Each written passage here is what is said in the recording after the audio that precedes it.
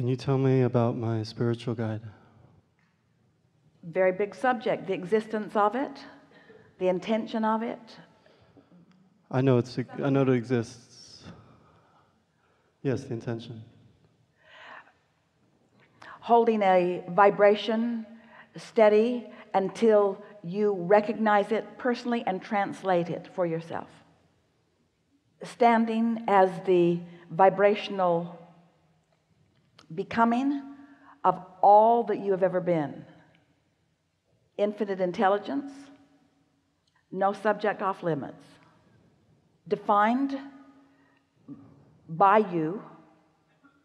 In other words you will fill in all of the characteristics through your practiced expectation.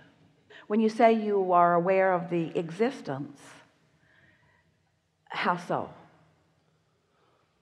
People have told me, and I have um, experienced things. So, why are you asking us? Because you seem to be the expert.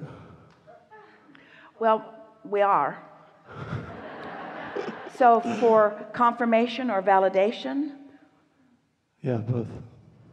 When Esther first began receiving us, she didn't have expectations about us other than she had heard the expression spiritual guide. She didn't really know what it meant.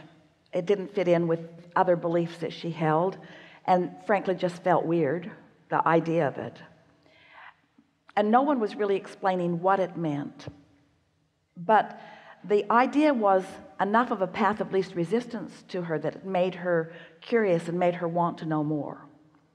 And so as she meditated and in the process of meditation quieted her mind.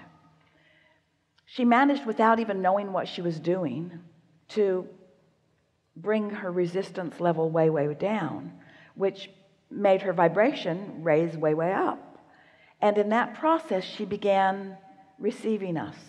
And at first she thought it was her own thought because she was translating the vibration into thoughts and so it was her terminology. So it didn't feel amazing. It felt normal. And the normalcy of it sort of threw her because it just felt normal. When she started writing it or speaking it out loud for Jerry to read he didn't find it normal. He found it amazing.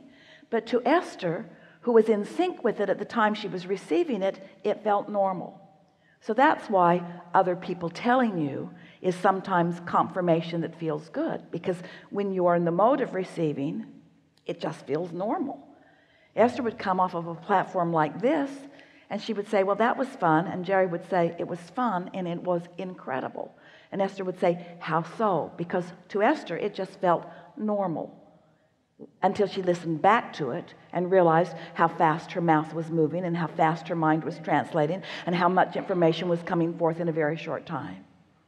So we're happy to give you confirmation that your inner being exists and that you have access to it and that you are receiving the vibration of it and you are accurately translating it our encouragement to you is that you have fun with it. There's not something that you are assigned to do with it. It has come in response to your personal requests and will be whatever you want it to be as long as you want it to be it. There is no assertion. You're not being possessed. There's not some assignment. There's not something that you've got to do. There's not something that source even wants you to do. It's just you finding alignment and it's for the fulfillment and satisfaction of that which you want. Enough? Some more? Yeah. Is the being source is Abraham the same as source? Is this being Abraham? The interesting thing about trying to explain this is that this is a vibration that is not words. And so the words are found by translators like Esther and like you. And so when you are receiving a vibration you'll find words that match that vibration especially if you're willing to continue to do it. You will find words that match the vibration. Sometimes people find words that Esther has found and so they think they are receiving the vibration. Someone sent her some things a while ago and Esther said Abraham, is this person channeling you? And we said, This person is channeling your website. and that's different, you see. And so, yes, the vibration is the same. The words will be uniquely yours, the translation is uniquely yours. What Abraham is, is Esther's verbal translation of the vibration of Abraham. And that's why Jerry was careful to put Abraham hyphen Hicks so that people would understand that, of course, everyone has access to this. Everyone has access to infinite intelligence. Everyone can get into the receptive mode. Everyone can release resistance enough to get into that frequency where you can begin to receive and consistently do it. Yeah. Enough? Do other people here do that? Oh, yeah. So do they feel when Abraham comes into the room? Those who are sensitive to energy do, don't you? Some see auras, do you? Do you? Yeah. Yeah, so Esther is auditory. She receives the vibration and translates it into the word equivalent. Some are visionary. They sense the vibration and translate it into something that is visual. More and more and more and more are finding themselves in the receptive mode. You just got to accept that there's more going on than what you can physically explain. You're brilliant and beautiful, but the whole bunch of you haven't managed to scrape enough dirt together to launch another moon into orbit. There is a consciousness that is large and that is larger than the physicality that you know. And so when you begin to get your thoughts around that by exploring vibration and by exploring vibration in the only real way that you can understand it, which is through emotion, and then tuning yourself by caring about the way you feel emotionally to the frequency of that which you are, the clarity that then begins to come forth is undeniable. You just don't question when you get tuned in to that frequency, you see. This alignment is not like a college degree. It's not something that once you achieve it and nail it up on the wall, it is yours forevermore. It's not like that. It either is or it isn't in the moment, depending upon what you've got going on vibrationally. But once you catch a piece of this, and once you recognize it, and once you begin to do it on purpose, and once you tune yourself deliberately, and once you care about the way you feel, and once you meditate consistently, and once you allow yourself to keep your vibrations in check, and once you care about the way you feel, and when you feel things getting a little emotionally out of whack, you do something about it. Once you begin to gain control of your own vibration and the momentum becomes something that is really consistent, then you become a consistent enough translator of the vibration that you yourself don't doubt it. In the early days, Esther would say, Abraham, am I speaking clearly your words? And every single time our answer to her was yes, even though we knew that her clarity was going to get stronger and stronger and stronger and stronger. Not once did we say, Yes, you're doing good, but it'll get better because she would have focused on what's wrong with what I'm already doing. In other words, it just gets better and better and better until in time, if you were say to Esther, Esther, do you have an inner being? She'd say, Yeah. And does your inner being have a name? And Esther would say, The best name that they've been able to give me is Abraham.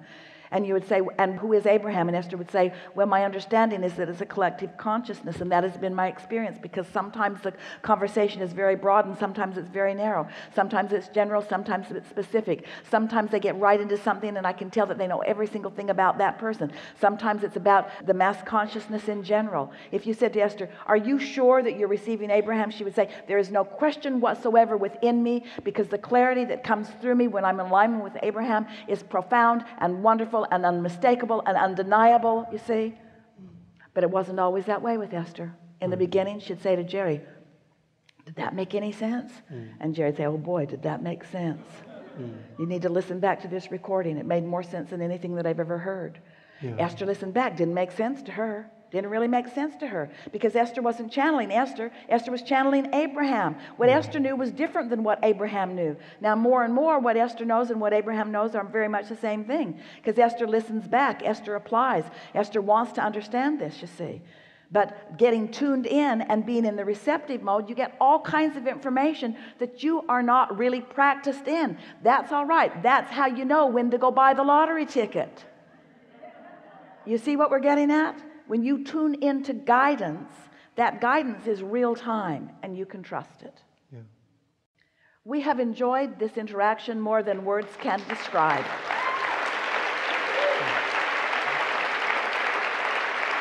Be playful and easy about this. Don't make hard work about it. We offered more words today than are necessary or even wanted by you.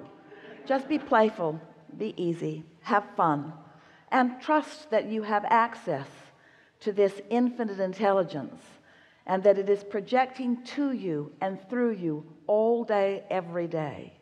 And let your dominant intent be to pay attention to the way you feel and to reach for that unconditional feeling of alignment and well-being and then watch what happens because this is a really good day. There is great love here for you and as always we remain in your vortex